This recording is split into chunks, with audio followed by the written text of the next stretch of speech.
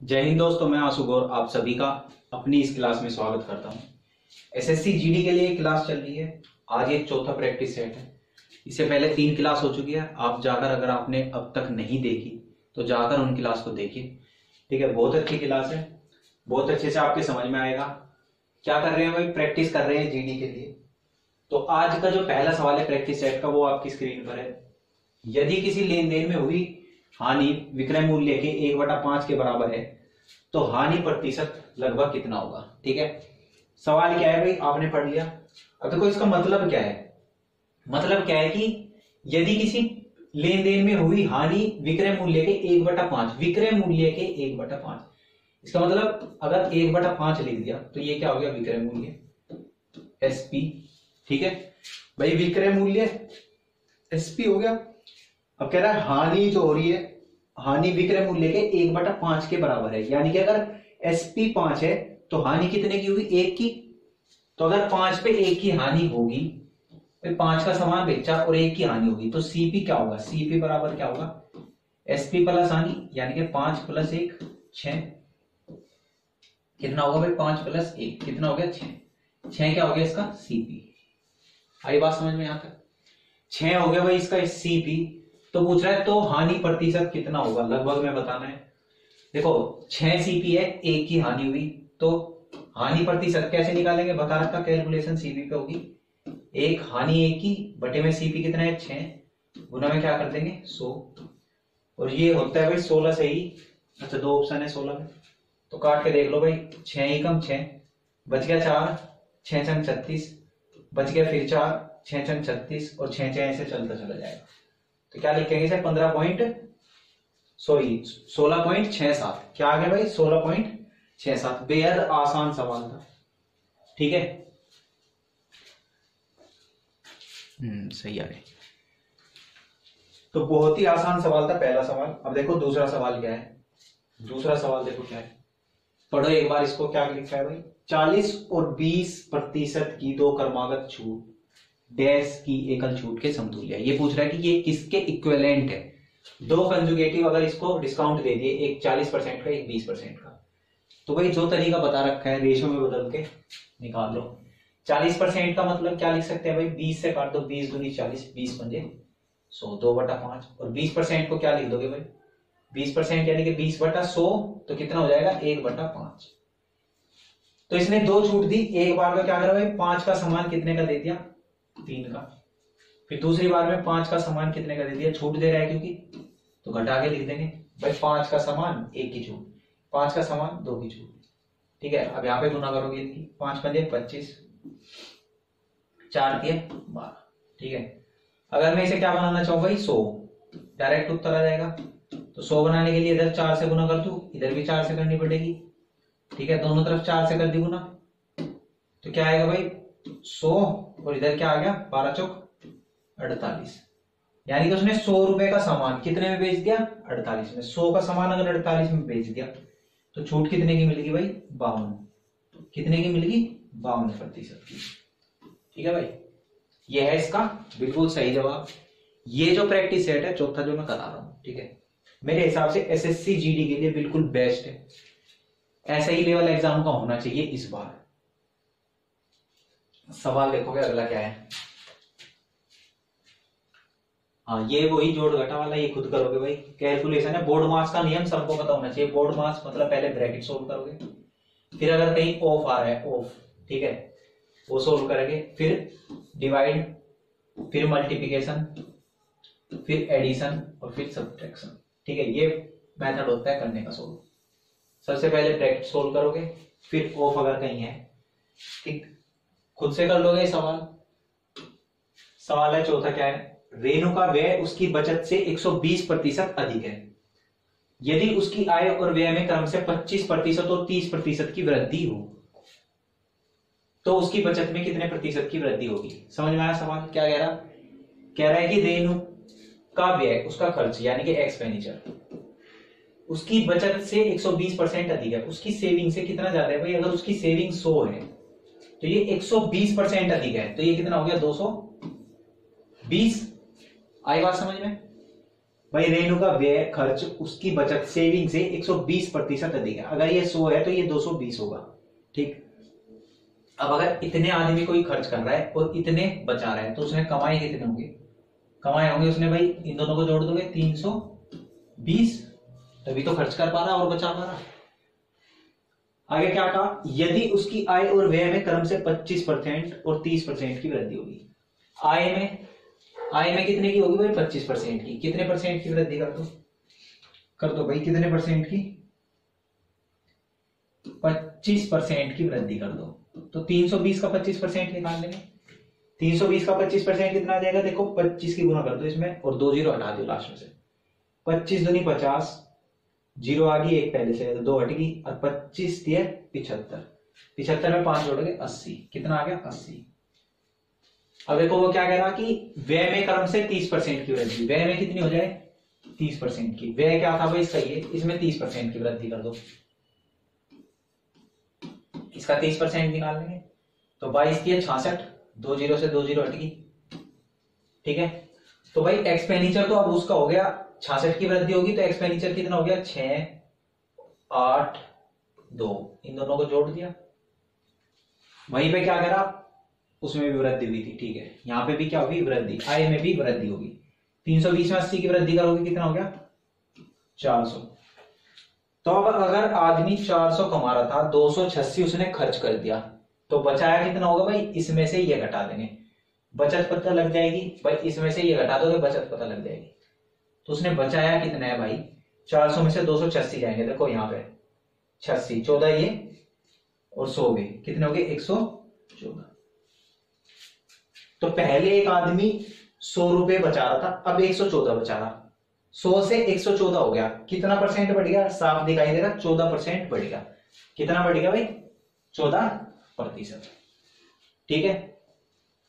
ऐसे ही सवाल करना है, ये, यही इसका मेथड है। सवाल देखो अगला। एक मिनट में देख लू साफ़ दिखाई दे रहा कि नहीं सब कुछ। हाँ भाई बिल्कुल बढ़िया दिखाई दे रहा कोई दिक्कत नहीं। सवाल देखो पांचवा। आज सवाल पहले ही लगा लिए इससे स्पीड से सवाल हो जाएँगे। दो संख्याओं के लघुत्तम समाप्रत्य और महत्तम समाप्रत्य क्रम से कितने हैं? ये हो रही है। एस और एलसीएम दे दिया। यदि वे संख्याएँ 324 और 100 एक संख्या दे दी दूसरी पूछ रहा हमारे से। सबको पता है भाई ये बहुत आसान है। एलसीएम गुना एच बराबर पहली संख्या फ़र्स्ट नंबर गुना दूसरी संख्या सेकंड नंबर ठीक है? अब एलसीएम कितना है इसका? पैंतीस चौसठ। एस सी एफ़ कितना है? एट्टी वन और पहली संख्या दे दी तीन सौ चौबीस दूसरी संख्या दे दी एक्स ठीक है? सोल्व कर लोगे भाई? ठीक है तीन सौ चौबीस से काट दो इसको। ये, ये किससे कट जाएगा? आठ से कट जाएगा। नौ से कट जाएगा, चार दो छ और तीन नौ नौ से काट दो। नौ के सत्ताईस, नौ छिक चौवन, और ये नौ से कट गया, नौ नम इक्यासी। नौ चौक छत्तीस, चार से काट दो इसको। चार नम, चार अठे बत्तीस, ठीक है, तीन बच गया, चार नम छत्तीस, चार ही कम चार। आ गया भाई, अब इसने पूछा क्या है कि x के अंकों का योग क्या होगा? यानी कि इसको जोड़ के देख लो। आठ और एक नौ और नौ, अठारह। क्या होगा भाई अंकों का योग? अठारह। ठीक है? समझ में आया कैसे क्या सवाल? बहुत ही सिंपल सवाल है। एक बस ये फॉर्मूला याद रखना आपको। कॉपी में उतार लो इस फॉर्मूले को और रख लो। सवाल देखते हैं भाई अगला। छठा सवाल। क्या कह रहा है? यदि व्यक्ति शांत जल में, पढ़ो सवाल को। यदि व्यक्ति शांत जल में 9 किलोमीटर प्रति घंटा की चाल से नाव चला सकता है, उसे धारा की दिशा में 33 किलोमीटर जाने और धारा के विपरीत 21 किलोमीटर आने में बराबर समय लगता है। देखो भाई, क्या कहा इसने कि 33 जाने में और 21 वापस आने में?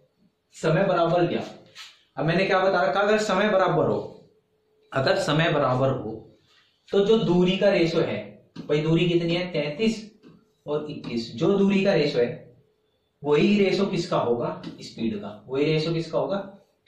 स्पीड का। रट लो ये बात, अगर नहीं पता थी किसी को। जो डिस्टेंस का रेशो होगा, वही किसका होगा? स्पीड का। कब?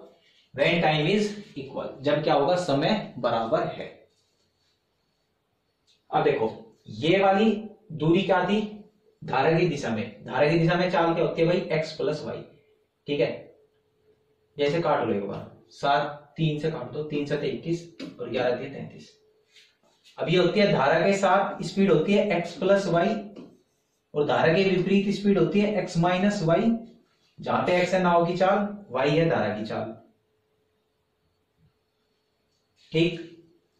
ये बात भाई पता होगी सबको। देखो, अगर ये धारा की दिशा है और नाव भी इसी दिशा में जा रही है तो स्पीड क्या हो जाती है? जुड़ जाती है एक्स प्लस वाई और अगर ये धारा की दिशा है और नाव जा रही विपरीत दिशा में तो स्पीड क्या हो जाती है? घट जाती है एक्स माइनस वाई ये बात पता होनी चाहिए सबको, ठीक है? अब देखो, यही लगाया अब देखो, x प्लस वाई ग्यारह एक्स माइनस वाई सात। अब अगर यहाँ से x और y का मान डायरेक्ट निकालना है, देखो डायरेक्ट निकालना कैसे? वैसे तो निकाल लोगे ऊपर नीचे रखे दो इक्वेशन है सोल्व कर लो, ठीक। डायरेक्ट कैसे निकाल लेंगे एक फॉर्मूला होता है सी एन डी का कंपोनेंटो डिविडेंडो ठीक है? योगांतर अनुपात का नियम। लगाओगे क्या करना? अंश प्लस हर बटे अंश माइनस हर तो मेरी बात समझो, इसे लगाते कैसे? डायरेक्ट देख लो। अगर यहाँ पे एक्स प्लस वाई है, यहाँ पे एक्स माइनस वाई अगर एक्स निकालना तो क्या करोगे? दोनों को जोड़ के भाग दे दो दो से। ग्यारह सात अट्ठारह बटा दो, नौ। और वाई निकालना तो वाई बराबर क्या आ जाएगा? दोनों को घटा के दो से भाग दे दो। ग्यारह में से सात गई चार बटे में दो करोगे, दो। आई बात समझ में? ठीक है? ये बात समझ आई? अब देखो, इसने, ये हमारा आया रेशो से रेशो से आया। अब देखो क्वेश्चन में क्या दे रखा इसने? क्वेश्चन में दे रखा कि जो नाव की चाल है, शांत जल में नाव की चाल कितनी है? नौ किलोमीटर प्रति घंटा। और हमारी कितनी आई? नौ। यानी कि नौ का मान क्या है? नौ ही है। तो इस दो का मान भी क्या होगा? दो ही होगा। दो किलोमीटर प्रति घंटा। तो धारा की चाल के आगे भाई? दो किलोमीटर प्रति घंटा। ठीक है, बहुत खूबसूरत सवाल था। उससे भी खूबसूरत इसका करने का तरीका। स्क्रीनशॉट ले लो, अगला सवाल करते हैं। सवाल देखो क्या कह रहा है, ये आठ क्रमिक संख्याओं का औसत पैंसठ है। यदि अगली चार क्रमिक संख्याओं को शामिल कर ले। देखो, बहुत बार बता रखा मैंने भी, और जहाँ से आपने पढ़ा होगा, उन्होंने भी बताया होगा।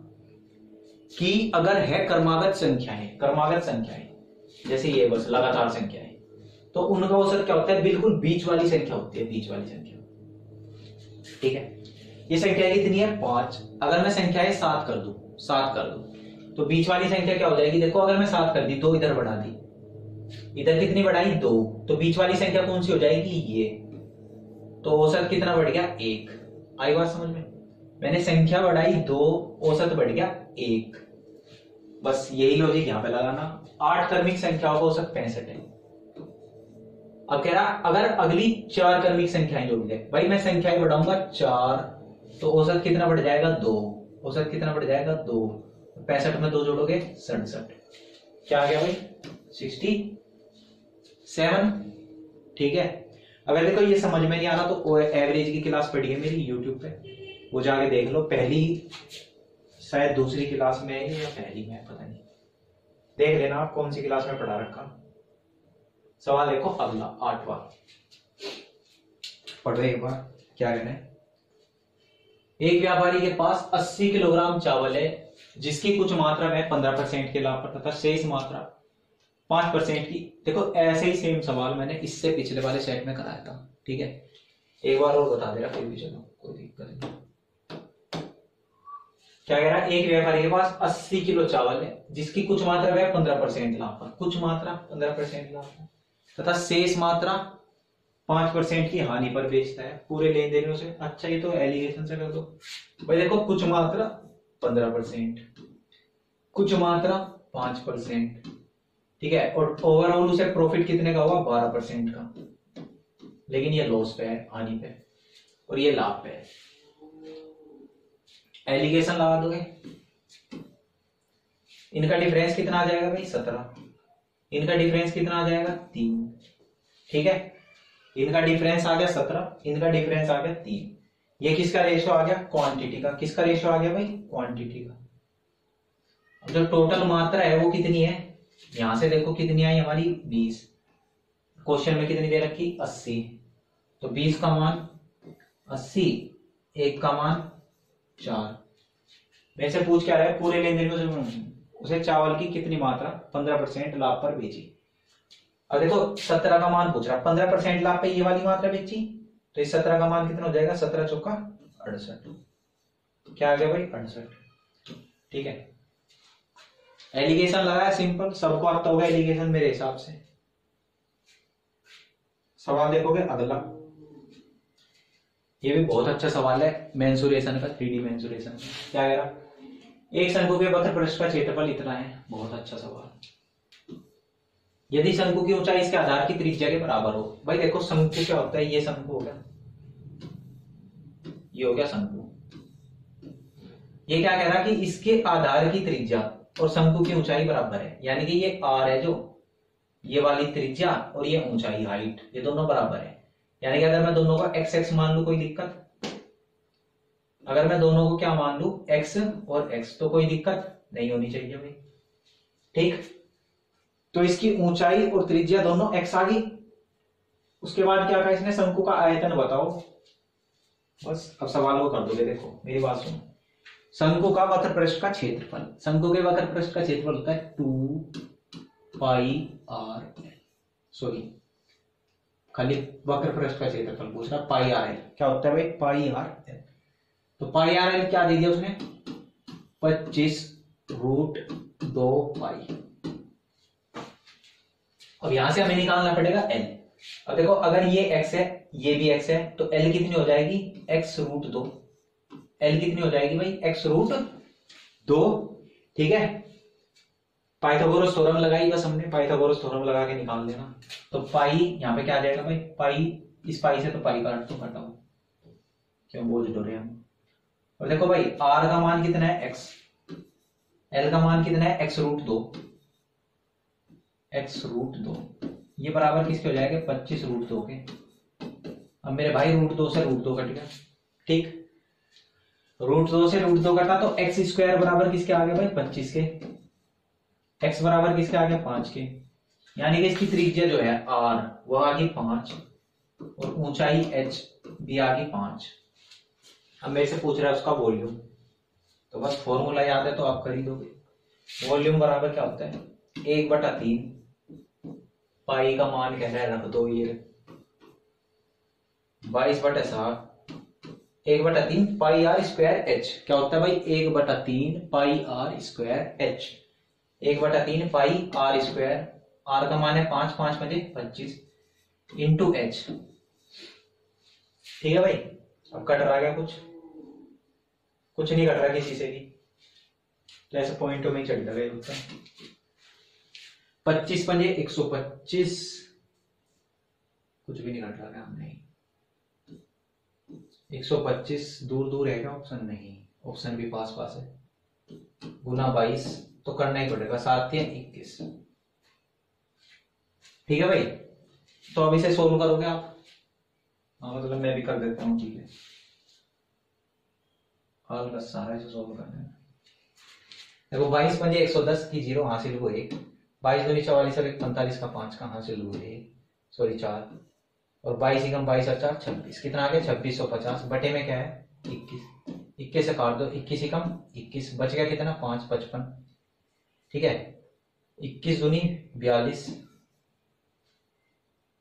ठीक एक सौ चौबीस वाला ही आएगा। है।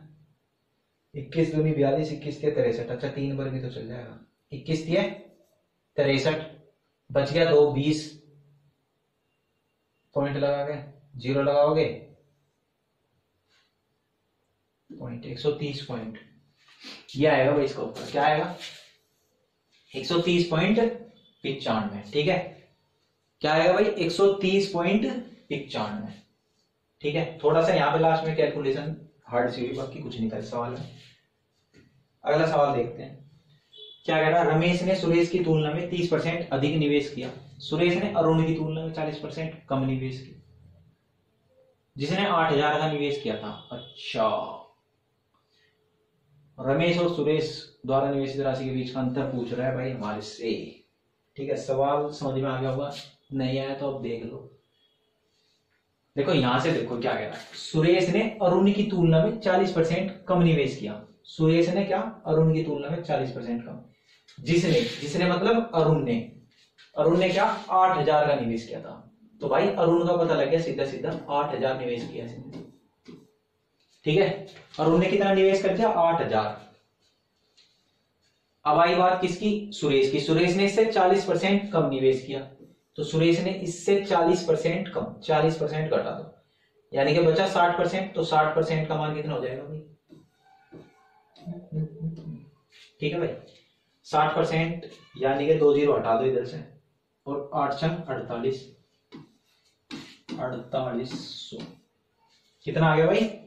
अड़तालीस सौ। अब आगे क्या, रमेश ने सुरेश की तुलना में तीस परसेंट अधिक निवेश किया। रमेश भाई साहब ने क्या करा, इससे तीस परसेंट ज़्यादा निवेश किया। कितना भाई? तीस परसेंट ज़्यादा। हाँ रमेश ने सुरेश की तुलना में तीस परसेंट अधिक निवेश किया। तो यहाँ से देख लो कितना ज़्यादा भाई? तीस परसेंट। तो इसकी गुना कर देंगे। तीन अटे चौबीस। दो ऊपर, तीन चौक बारह, दो चौदह, एक सौ चौवालीस। ज़ीरो। कुछ ज़्यादा कम नहीं आ रहा। तीन चौक बारह, तेरह चौदह। अच्छा तीस परसेंट अधिक निवेश किया। तो यानी कि एक सौ तीस परसेंट करा। भाई, तीस परसेंट ज़्यादा, यानी कि एक सौ तीस परसेंट। तो अब देखो तेरह अट्ठे एक सौ चार, दस ऊपर तेरह चौका बावन। बावन और दस, बासठ। ठीक है, एक ज़ीरो चिपका दो बस। कितना आ गया? छह हज़ार दो सौ चालीस। अब क्या पूछ रही है रमेश और सुरेश द्वारा निवेशित राशियों के बीच अंतर। रमेश और सुरेश की राशि के बीच अंतर पूछ रहा है मेरे से। दोनों को घटा दोगे भाई, इसके और इसके बीच का अंतर घटा दो इसमें से। तो देखो भाई, लिख लो चाहिए यहीं पे, इतना क्या दिमाग लगाना। ज़ीरो, चार, बारह में से चार, एक, चौदह सौ चालीस। ठीक है? देखो भाई पेपर सोल्व करना मतलब क्वेश्चन का मेथड तो पता ही होना चाहिए। सारे क्वेश्चनों के आपको मेथड आने आने चाहिए। उसके बाद कैलकुलेशन भी फास्ट करनी आनी चाहिए। ऐसा नहीं कि हर चीज़ को एक एक को लिख लिख के गुना कर रहे डायरेक्ट गुना कर दिया करो, ठीक है? ये सब भी सीखना। जब आप प्रैक्टिस कर रहे हो ना, वहीं से स्टार्ट करो। तभी पेपर में कर पाओगे। अगला सवाल देख लो, क्या है स्पोर्ट स्पोर्ट स्टोर अपनी वस्तुओं पर। पढ़ लिया भाई सवाल 19 परसेंट की छूट देता है और ऑनलाइन वॉलेट के भुगतान करने वाले ग्राहक को। घटे हुए मूल्य पर दो परसेंट अतिरिक्त छूट देता है। यदि कोई ग्राहक अठारह हज़ार मूल्य का खेल का सामान खरीदता है और ऑनलाइन वॉलेट के ज़रिए भुगतान करता है तो उस ग्राहक को कितनी राशि का भुगतान करना पड़ा? ठीक है भाई कंडीशन बता दी, उसके बाद रहा कितने पैसे दिए देखो, एक व्यक्ति ने अठारह हज़ार का सामान खरीदा तो अठारह हज़ार का सामान खरीदा उसने। ठीक? उन्नीस परसेंट छूट तो वो देता ही है सबको। तो उन्नीस परसेंट घटाओगे सौ में बचा कितना? इक्यासी, यानी कि इक्यासी बटा सौ। फिर कह रहा कि उसे दो परसेंट एक्स्ट्रा छूट मिलेगी, क्योंकि क्योंकि उसने ऑनलाइन वॉलेट के ज़रिए भुगतान करा। तो उसे दो परसेंट और छूट मिलेगी, यानी कि सौ में से दो और घटा दोगे तो नाइनटी एट बटा सौ, ऐसे लिख लो। ठीक है? अब पूछ रहा ग्राहक ने कितनी धनराशि पे करी।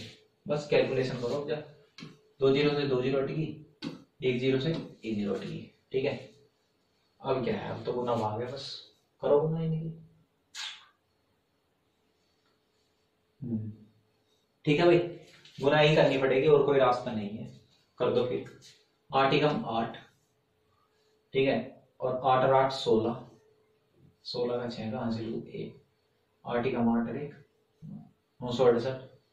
गुना में क्या आ जाएगा? नौ आठ। अब इनके गुना कर लो।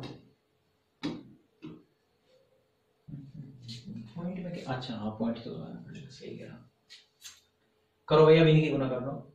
आठ की इसमें करेंगे इसे नीचे लिख लो नाइनटी एट ठीक है आठ अठी चौसठ छ आठ छः अड़तालीस और छ अड़तालीस और छ चौवन का चार का हासिल हो पाँच और आठ नंग बहत्तर और पाँच सतहत्तर।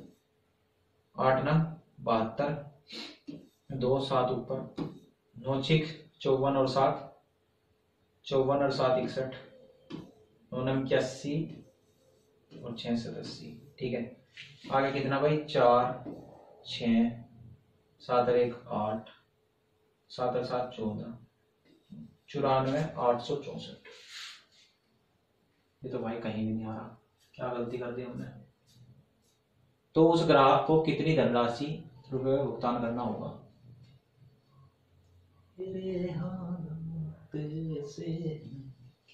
कुछ देखो भाई एक बार। आठ ही कम आठ यहाँ पे गलती करी कुछ।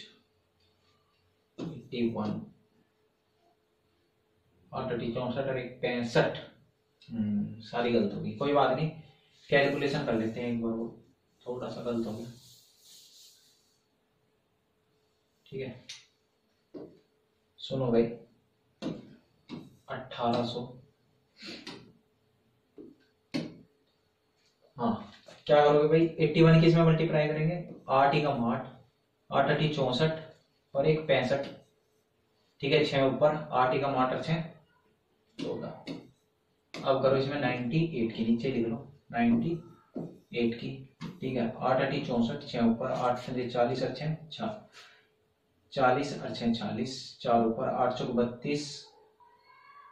दिमाग आज सही काम नहीं कर आठ पैंतालीस छः चालीस, आठ, चौक बत्तीस और चार, छत्तीस, तीन, आठ कम आठ और तीन ग्यारह नौ अठे बहत्तर, ठीक है? सात ऊपर नौ पंजे पैंतालीस और सात बावन का दो हासिल हो पाँच। नौ चौक छत्तीस और पाँच कितना हो गया भाई? इकतालीस। एक, चार, नौ एकम नौ और चार तेरह तो ये कितना आ जाएगा भाई? चार छह दो आठ छह दो आठ दो चार अब तो होगा। हाँ बिल्कुल मिल गया। और देखो ये दस से भाग करोगे तो पॉइंट भी आ जाएगी। क्या आ गया भाई इसका उत्तर? चौदह दो सौ अट्ठासी। ठीक है? आई बात समझ में? अगला सवाल। यार उधर जाने की आदत पड़ रही है चार पक्षी ए बी सी डी एक जंगल में चारों ओर उड़ते हैं। बहुत अच्छे। ज़्यादा उड़ रही है। एक सत्ताईस मिनट में तीस, पैंतालीस और साठ मिनट में पूरा चक्कर लगाता है बहुत ही मतलब रिपीटेड क्वेश्चन है। हर बच्चे का आता होगा। कुछ नहीं करना होता इनका एलसीएम लो। सत्ताईस, तीस, पैंतालीस और साठ, इनका एलसीएम लोगे? एलसीएम लेने की एक विधि है, दूसरी विधि में बता रहा, ध्यान से सुनो। देखो, सबसे बड़ी संख्या उठाओ, साठ। तो साठ के थोड़े से टुकड़े से करके लिख लो, जैसे पंद्रह, चौका साठ, फिर दूसरी संख्या उठाई, पैंतालीस। पैंतालीस में क्या होता है भाई? नौ पंजे पैंतालीस। अब देखो, पाँच तो यहाँ, या पंद्रह या पैंतालीस। पंद्रह यहाँ पे आ गया, तीन नहीं आया अब तक, तीन लिख लो। उसके बाद तीस। तीस कैसे बनेगा पंद्रह दूनी तीस। देखो, पंद्रह यहाँ पे, दो यहाँ पे आ गया बनेगा तीस। सत्ताईस, नौ तीस सत्ताईस। नौ देखो, नौ कैसे बनेगा? तीन तीन नौ और एक तीन यहाँ पे पंद्रह की साथ है तो हो गया सत्ताईस। ये एलसीएम आ गया इसका। क्या आ गया भाई? एलसीएम।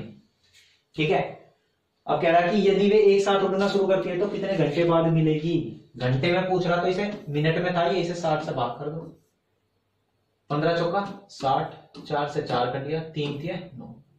कितना आ गया भाई? नौ घंटे। तो कितने घंटे बाद मिलेगी भाई? नौ घंटे बाद। चिड़िया जो है आपस में नौ घंटे बाद मिल जाएगी। ठीक है? अगला सवाल है, बारह व्यक्ति बीस मीटर लंबा गड्ढा आठ दिन में खोदते हैं।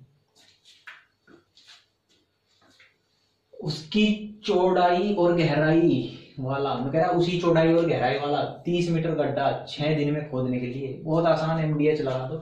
सबको पता है भाई M one D one H one लेकिन यहाँ पे घंटे नहीं है तो एम वन डी वन बटे डब्ल्यू वन बराबर एम टू डी टू बटे डब्ल्यू टू यानी कि मैन दिन वर्क मैन दिन वर्क। पहले क्या था भाई? देखो यहाँ पे कितने आदमी है? बारह आदमी। बीस मीटर गड्ढा यानी कि कार्य है ये। बीस मीटर गड्ढा यानी कि बीस कार्य। आठ दिन लगाए।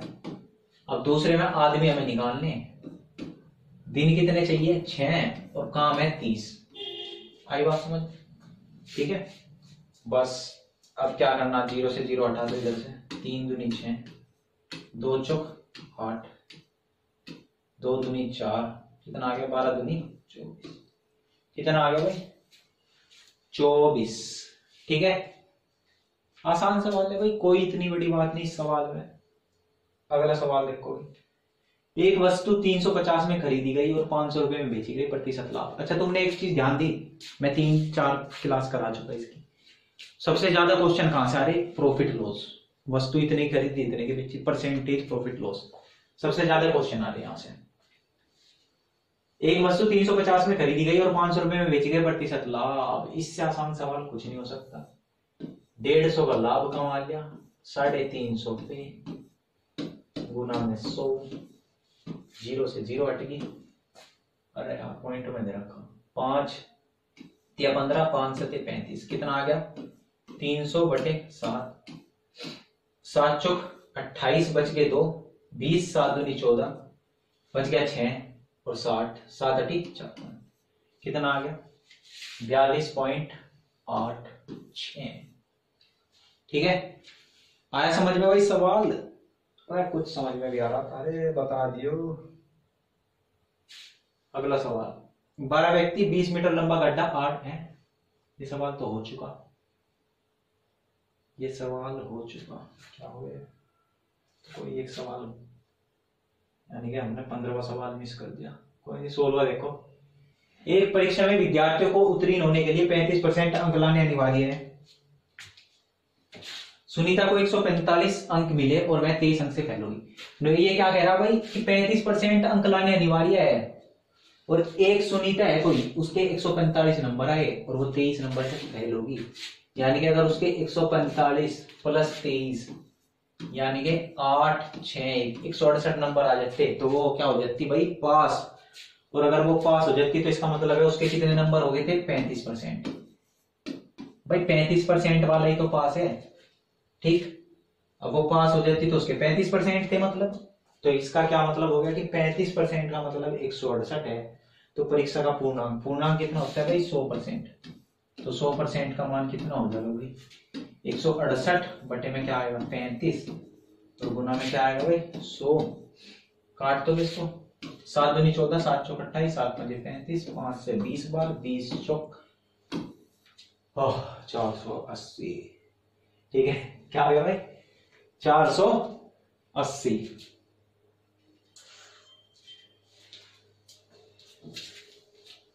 भाई, सवाल समझ में आ रहे क्या ये?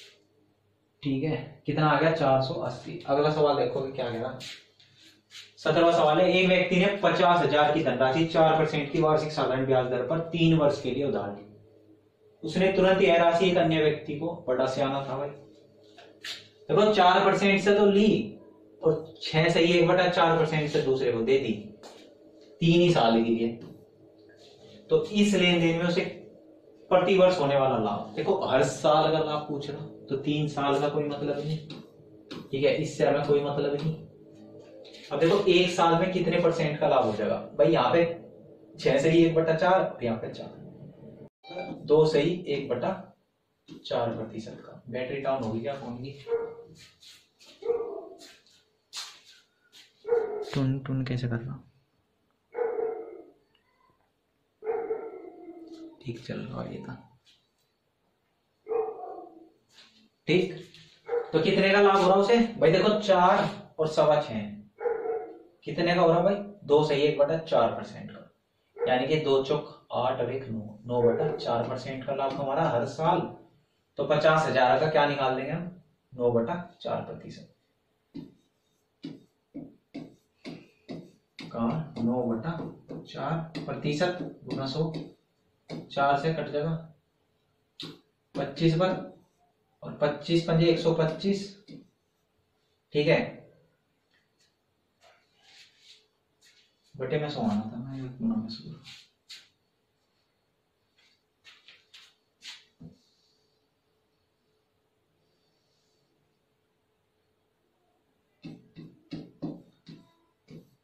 ठीक है भाई? गलतियाँ बहुत हो रही आज। नौ बटा चार गुना में सौ। ठीक? दो ज़ीरो से दो ज़ीरो हटेगी। अब इससे काट दो इसको बस। चार से काटोगे पाँच सौ को कितनी बार कटेगा? एक सौ पच्चीस बार। एक सौ पच्चीस गुना में नौ। नौ बजे पैंतालीस। चार ऊपर नौ, दो अठारह चार बाईस। दो ऊपर नौ एकम नौ, दो ग्यारह। कितना आ गया भाई? ग्यारह सौ पच्चीस। कितना आ गया? ग्यारह सौ पच्चीस। ठीक है? समझ में आया क्या करना? बस हमें डिफरेंस भाई, हर साल कितने परसेंट का प्रॉफिट हो रहा? दो सही एक बटा चार परसेंट का। तो बस ये पूछ रहा है तो पचास हज़ार का दो सही एक बटा चार प्रतिशत निकाल लेंगे। ठीक? अगला सवाल देखो क्या कहना एक निश्चित धनराशि पर साधारण ब्याज की समान वार्षिक ब्याज दर से तीन वर्ष बाद प्राप्त मिश्र धन कितना है भाई? सात हज़ार चार सौ पिचासी है और आठ वर्ष बाद प्राप्त मिश्र धन इतना है यदि ब्याज सेम सवाल हम पहले भी कर चुके हैं, ऐसे ही सवाल आया था। फिर आ गया, कोई बात नहीं। देखो मान लो यहाँ से शुरू हुआ ब्याज यहाँ से स्टार्ट हुआ। इसके तीन साल बाद, कितने साल बाद? तीन साल बाद उसे कितना पैसा मिला? सात हज़ार चार सौ पिचासी। फिर क्या कह रहा? उसके आठ वर्ष बाद, उसके यहाँ से कितना? यहाँ से आठ साल बाद उसे कितना पैसा मिला? नौ हज़ार नौ सौ साठ। ठीक? यदि ब्याज की दर पहले से अब पहले यहाँ तक सोल्व करो, दर तो निकाल लो। दुगनी हो जाए तो साधारण ब्याज की दर से उतनी राशि पड़े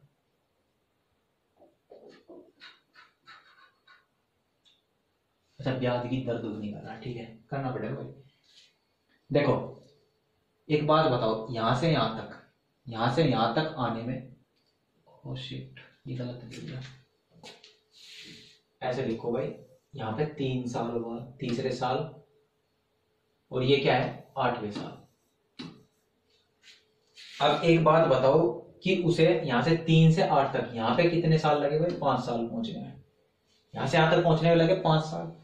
पाँच साल में कितना पैसा बढ़ गया भाई उसका? घटा के देखोगे। ज़ीरो में से पाँच गए। पाँच। ठीक है, इधर बचेगा पाँच। पाँच में से यानी कि पंद्रह में से आठ गए। सात। इधर बचेगा आठ। चार। दो। कितना आ गया? चौबीस सौ पिछहत्तर कितने साल में? पाँच साल में।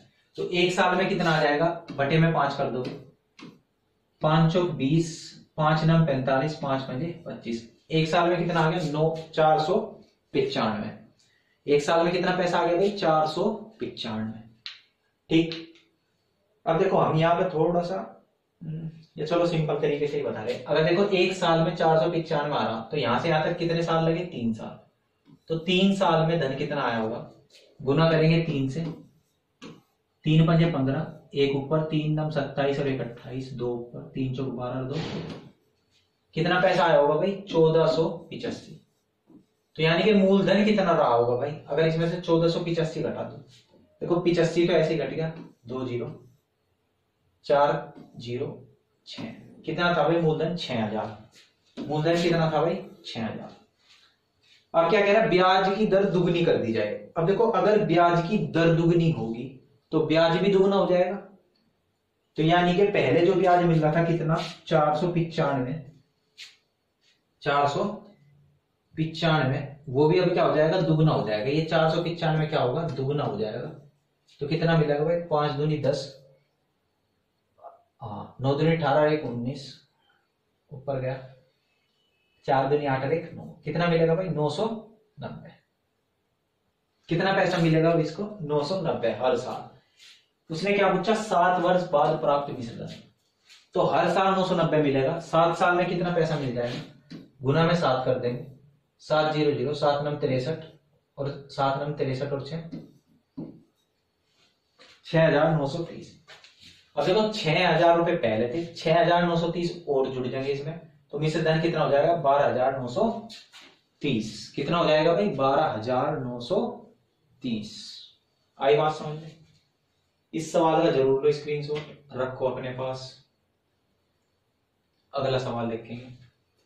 एक व्यक्ति ने एक निश्चित धनराशि को साधारण ब्याज एस की पाँच परसेंट वार्षिक दर पर दो वर्ष के लिए, देखो, पाँच परसेंट से दो साल के लिए।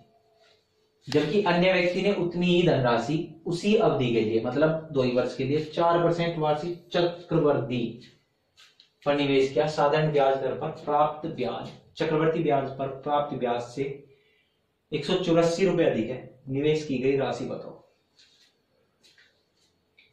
देखो, इसमें क्या करेंगे? पहले दोनों कंडीशन से ब्याज निकाल लो, कितना है? मान लो मूलधन था सौ रुपए। मूलधन कितना था? सौ रुपए। तो पहले वाली कंडीशन से ब्याज कितना आ जाएगा? देखो, पाँच परसेंट दो साल के लिए कितना आ जाएगा? दस परसेंट। और सौ का दस परसेंट कितना आ गया? दस। तो पहली कंडीशन से ब्याज आ गया दस। दूसरे वाली में क्या कह रहा है? चार परसेंट। लेकिन अब की बार लगेगा सी आई क्या लगेगा भाई? सी आई सी आई लगेगा चार परसेंट से, ठीक है, दो ही साल के लिए। तो पहले साल मिलेगा चार रुपए। ठीक? भाई चार परसेंट मिलेगा। अगले साल क्या मिलेगा? चार रुपए तो मिलेगा मिलेगा। चार रुपए तो मिलेगा मिलेगा। और इस चार का भी चार परसेंट। चार चौक सोलह। चार चौक सोलह। पॉइंट एक छ कितना ब्याज मिल गया भाई? कितना ब्याज मिल गया टोटल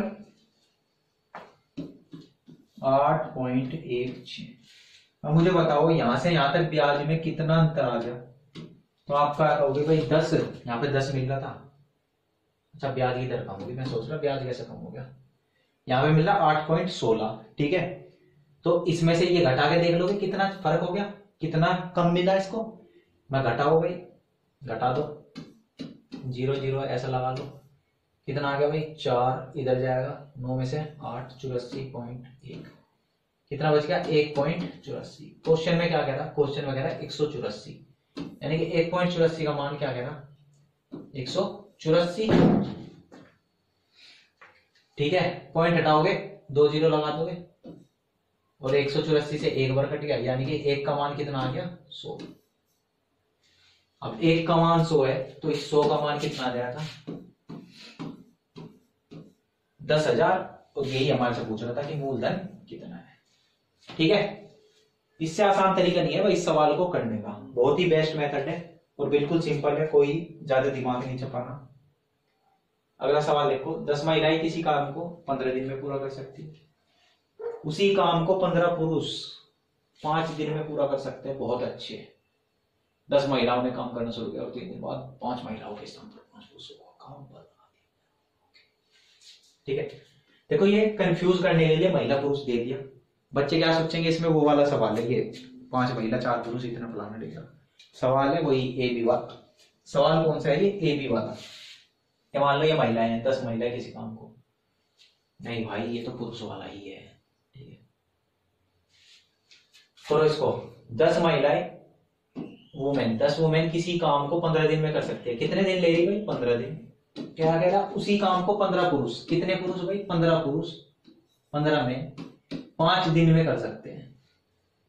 दस महिलाओं ने काम करना शुरू किया। अब देखो, यहाँ से इनकी एफिशिएंसी निकाल लो पंद्रह से पंद्रह घटेगा और पाँच दूनी प्लस तो ये वुमेन और मैन की जो एफिशिएंसी का रेशियो है, वो कितना आ गया? एक और दो। दो उधर चला जाएगा, एक इधर। ठीक है? कितना आ गया? दो और एक।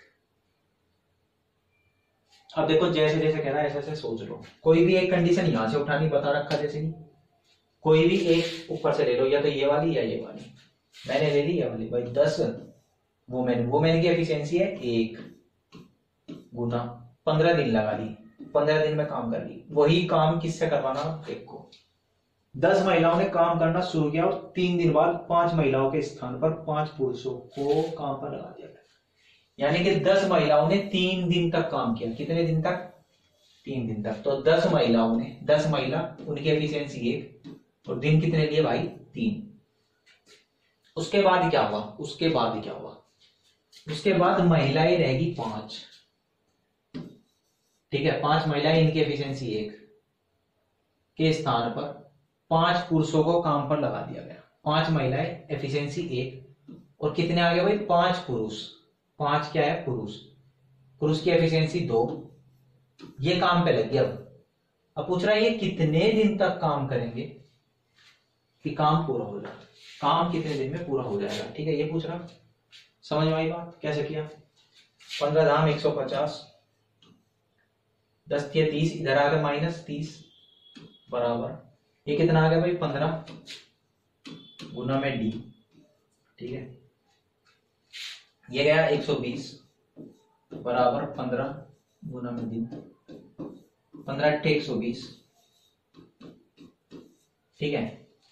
अब उसने क्या पूछा? काम कितने दिनों में पूरा हो जाएगा? पूरा काम पूछ रहा। पूरा काम कितने दिनों में हो जाएगा? तो पूरा देखो, तीन दिन तो पहले लग गए थे उन्हें। यहाँ पे लड़के तीन दिन पहले और आठ दिन यहाँ पे लगे। आठ और तीन कितना हो गया? ग्यारह। टोटल कितना समय लगेगा भाई? काम पूरा होने में ग्यारह। कितना टाइम लगेगा? ग्यारह दिन। अच्छा सवाल था भाई। ठीक है? ठीक है।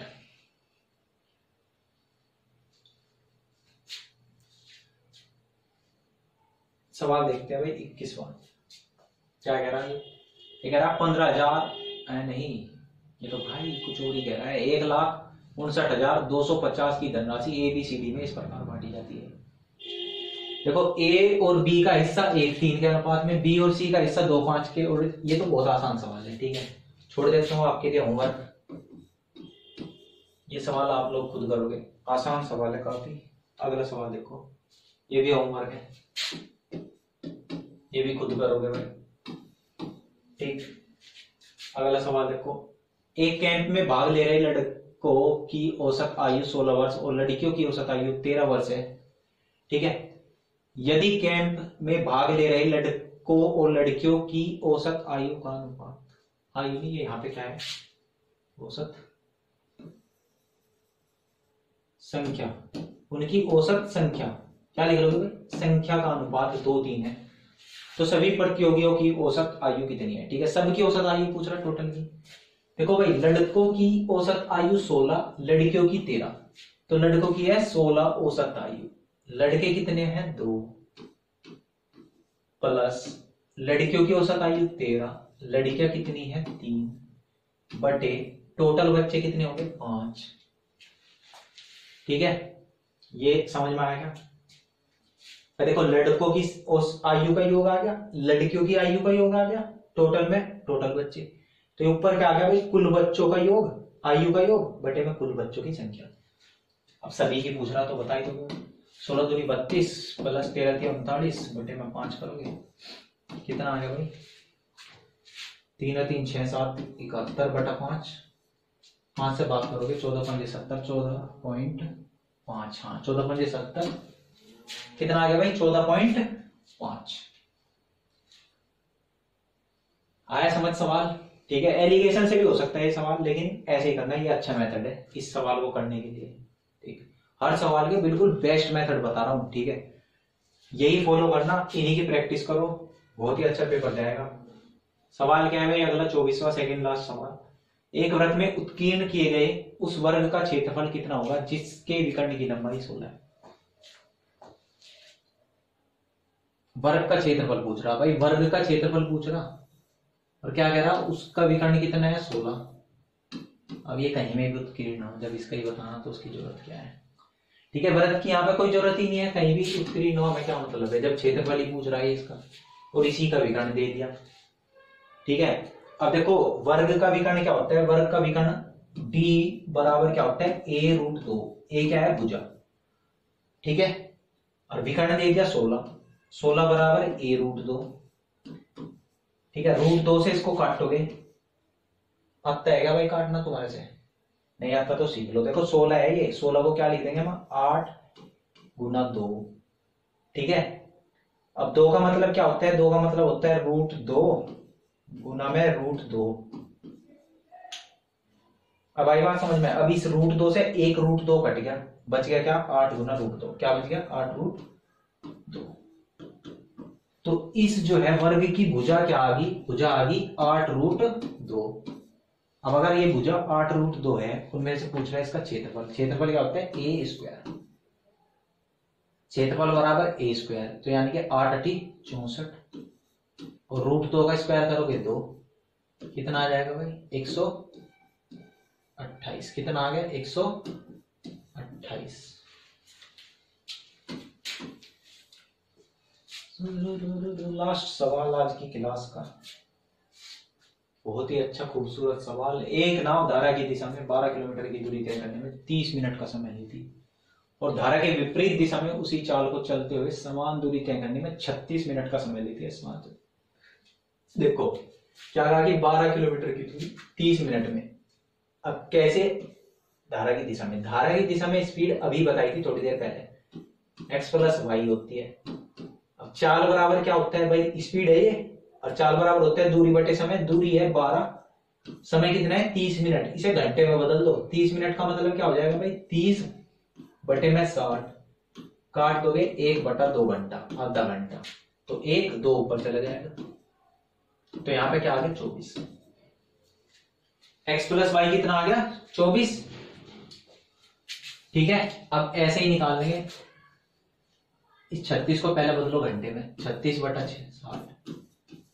छह छंग छत्तीस, छह दाई साठ। ठीक है? अब देखो, धारा के विपरीत, यानी कि x माइनस वाई बराबर क्या होगा? दूरी तो वही चली। 12 किलोमीटर ही। उसी चाल से चलते हुए समान दूरी। छत्तीस मिनट लगाई, यानी कि छह और दस ऊपर आ जाएगा। छह दूनी बारह, दस दूनी बीस। एक्स माइनस वाई कितना आ गया? बीस। एक्स प्लस वाई कितना आ गया? चौबीस। एक बात अभी समझाई थी C and D rule component और डिविडेंड एक्स निकालना तो क्या करोगे? दोनों को जोड़ के अद्दा कर दो। जोड़ के अद्धा करोगे चवालीस और उसका अद्दा बाईस। वाई निकालना तो दोनों को घटा के अद्धा कर दो। घटा के देखो, चार और उसका अद्दा दो। पूछ क्या रहा हमारे से? सात जल में नाव की चाल। नाव की चाल होती है ये एक्स कितनी आ गई? बाईस। कितनी आ गई भाई? बाईस। ठीक है। अच्छा सवाल था और उससे भी अच्छा इसको करने का तरीका। तो आज की क्लास समाप्त हुई। यहीं पे पच्चीस सवाल कर दिया। आज थोड़ा स्पीड से होगा क्योंकि क्वेश्चन वगैरह सब कुछ पहले ही लगा रखा था। ठीक है। देखो, बहुत मेहनत से पढ़ाया जा रहा। और अच्छा पढ़ाया जा रहा है, ठीक है? अगर क्लास अच्छी लग रही हो तो इसको शेयर कर लो। चैनल को सब्सक्राइब करो और डेली ये क्लास मतलब ये जितने भी सेट करा रहा हूँ, ये ज़रूर देखो। बहुत फ़ायदा मिलेगा, बहुत, ठीक है? आज के लिए इतना ही। जय हिंद, धन्यवाद।